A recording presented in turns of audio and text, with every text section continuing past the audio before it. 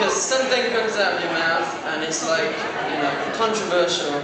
You know, like that guy who was on Newsnight, what's his name, with the glasses? Who seems to be like a, a human wrecking ball. I don't know if anyone watches uh, TV anymore. But, um, it's all on YouTube nowadays. And speaking of which, you can check me out on the internet, and you can you can be my cyber friend. Friend. Well, this is my latest single. It's called Storyteller, and um, it's out now, and you can buy it over there yet again. And um, Australia, man. How are you? How are you? Um, I'd like to uh, apologise on the great nation of Britain um, for sending your ancestors so far away. Terrible things, but we're all friends now. And he's not even Australian.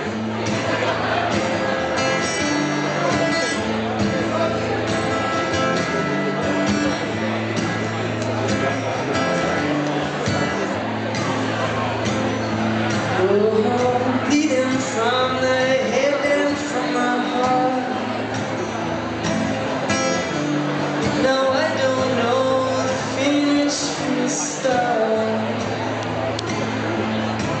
Just what does it matter to you now?